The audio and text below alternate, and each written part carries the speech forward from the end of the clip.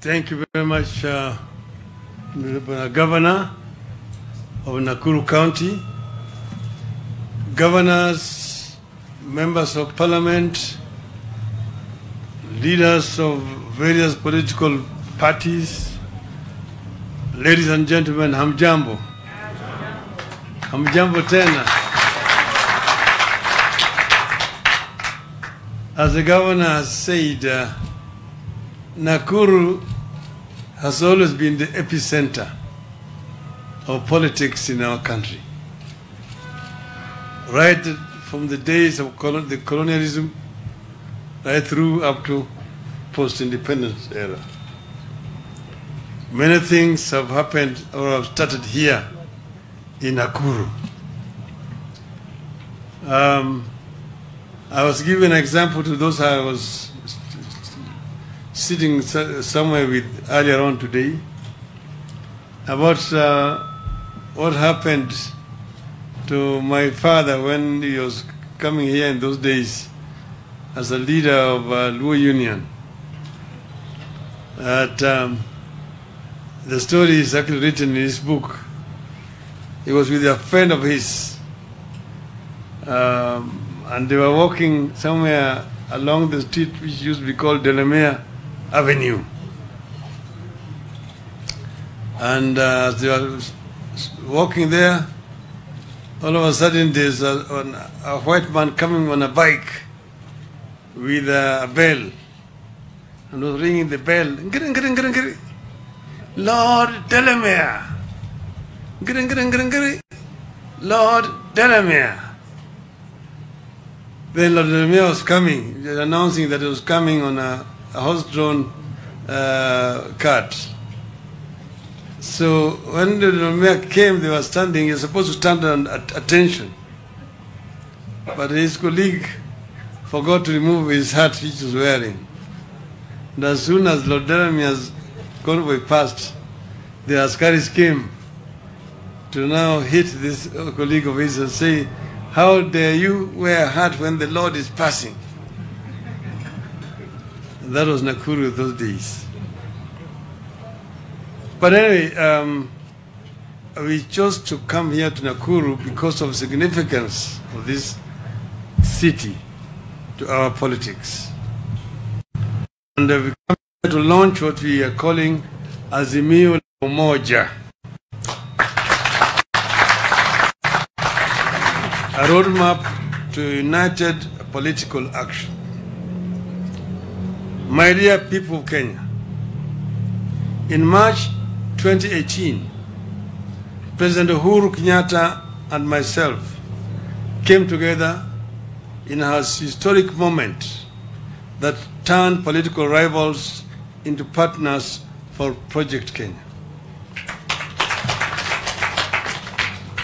We came together not to serve ourselves, but because we realized that continued political rivalry was unhelpful. The economy would continue to suffer, and the cohesion of our country would continue to be at risk. With that unity, we were able to dissect the problems troubling our country. Sluggish growth and dwindling incomes, insecurity, exclusion from economic and political life of the nation, tribal rivalries and competition, corruption, divisive electoral processes, lack of a shared sense of civic responsibility.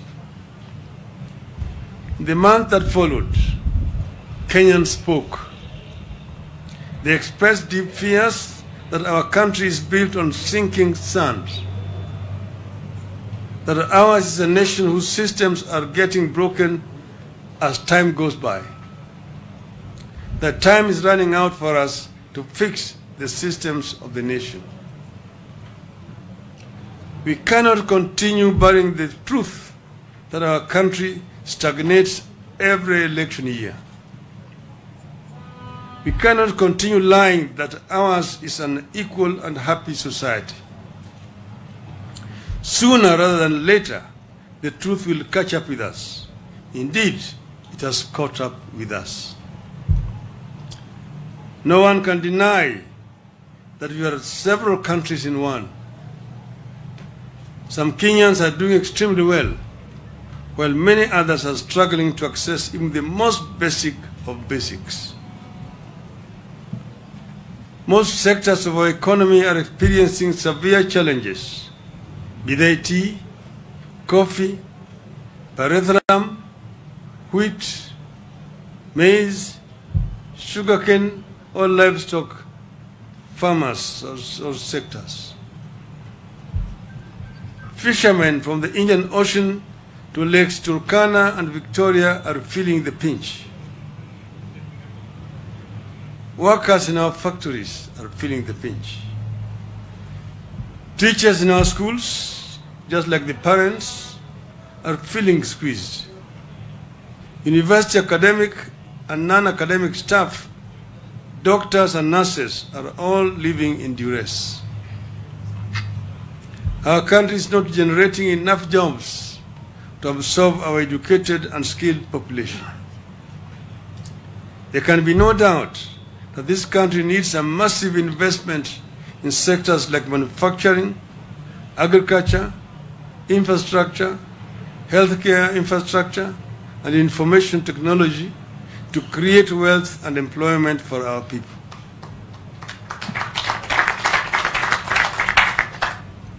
Virtually all Kenyans are caught in daily battles to make ends meet. Virtually all Kenyans are caught in a feeling that however hard they try, they just can't get a breakthrough. Some of these problems have become fodder for drumming up of chauvinistic and xenophobic political support. As we head into the 2022, these problems have become tools for emotional and irrational appeals. A section of leaders is taking advantage of rather than address the problems. It is clear that these problems will persist well beyond 2022 unless we begin addressing them today. Our country needs a coherent plan to recast and implement our long-term development plans as contained in the Vision 20, 20, 2030. There can be no denying that the country needs to promote and protect the small-scale businesses like the types resident in Gikomba and similar markets from unfair competition by foreigners. We equally need to address the issue of punitive taxation so that we promote, not punish, investment. Kenya needs a fair and transparent tax regime backed by a clean and efficient public service. We need to build a nation where leaders exist to serve people and not to lord over them. A nation where meritocracy shall replace mediocrity and nepotism. And a country with zero tolerance to corruption. We need to build a nation where rights of each and every citizen, irrespective of their status, is respected. Need to respect gender, our women folk, promote the youth in our society. Inawezekana. In our own small way, must start that conversation. Must start talking about how to ensure elections are not about government but governance.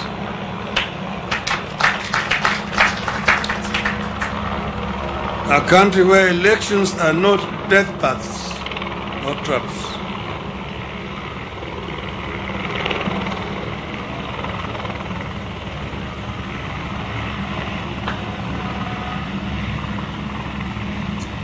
In the present circumstances, We must unite and help our people contain the COVID-19 pandemic, rally them for vaccination, while we work with the government to roll out measures to cushion the country from the ravages of the pandemic.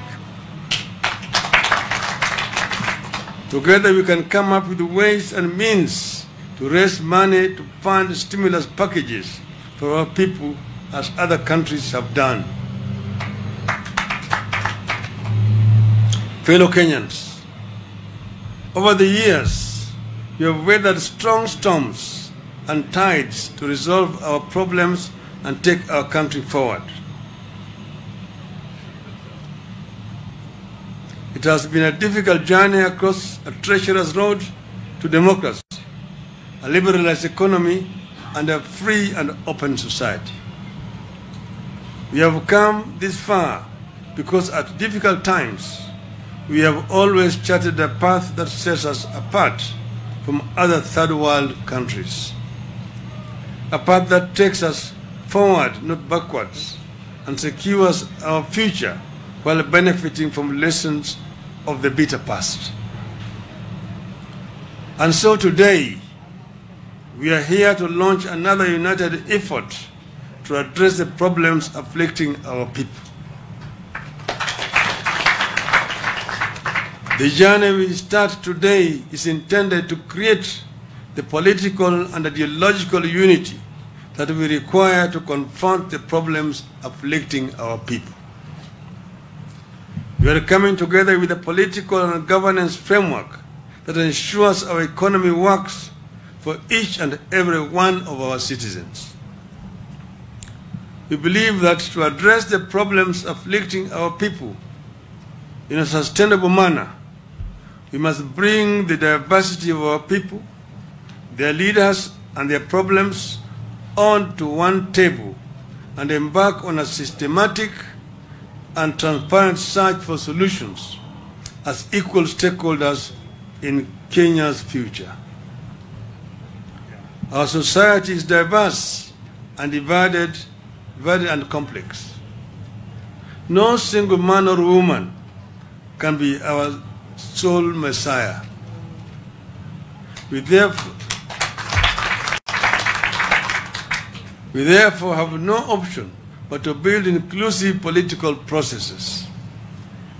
We must therefore urgently embark on uniting, not dividing our people, not pitting people against each other, not pitting the poor against the rich, the young against the old, one faith against the other, tribe against tribe.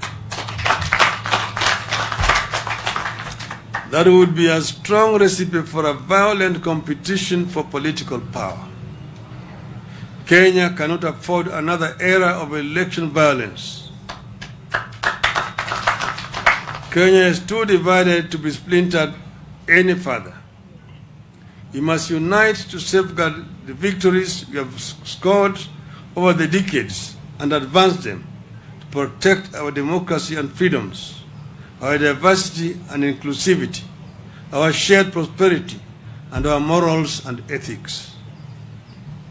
We must unite to build prosperity and share it equitably on a table where everyone feels represented. We need a united front against corruption and impunity. We must unite to fight for historically marginalized parts of uh, and people of Kenya.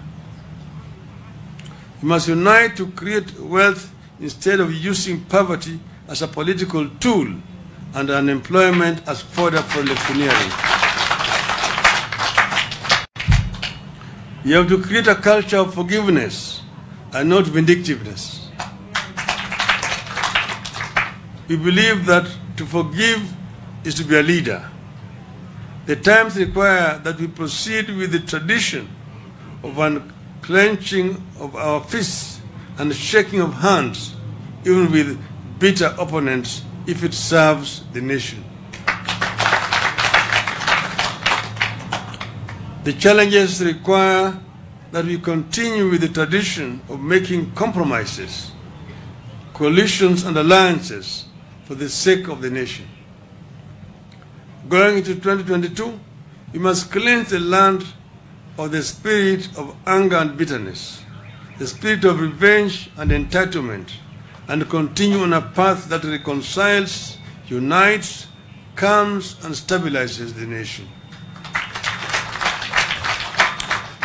That is the journey we are embarking on today. We must recommit to a leadership that continues with the spirit of good neighborliness and Pan-Africanism, not one that undermines it. We recommit to a leadership that strengthens, not undermines, our ties with all international partners who have stood with us in good and bad times and the new ones willing to work with us. The journey towards a mass movement that we set on today aims to bring on board Kenyans of goodwill, citizens, leaders, movements, social formations, and institutions dedicated to advancing people-centered democratic governance in Kenya. Within a short period of going around the country, we will unveil the vehicle that has space for the diversity of Kenyans to the promised land.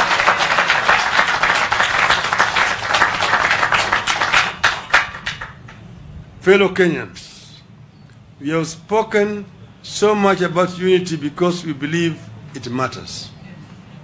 A house divided cannot stand.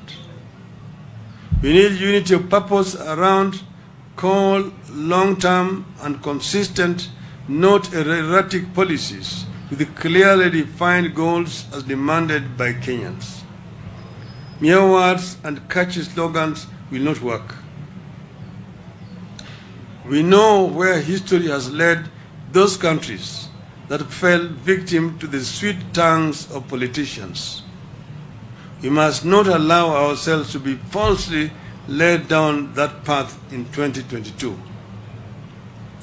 We must take the high road and summon the angels in us to recall, not recall our demons. We want every child, no matter their pedigree or identity, to think and believe that it can be morning in Kenya again, that we are about to arrive in a new land full of the most seductive possibilities. Let us rise together to fulfill the dreams of our children and reclaim our great destiny. Let's, we must fix this country, fix its systems, fix its politics, then fix its economy. The king. We believe that the Kenyan dream, as coined by the founding fathers, is achievable. Inawezekana. Let us work together to achieve the Kenyan dream. Thank you. May God bless you. God bless Kenya.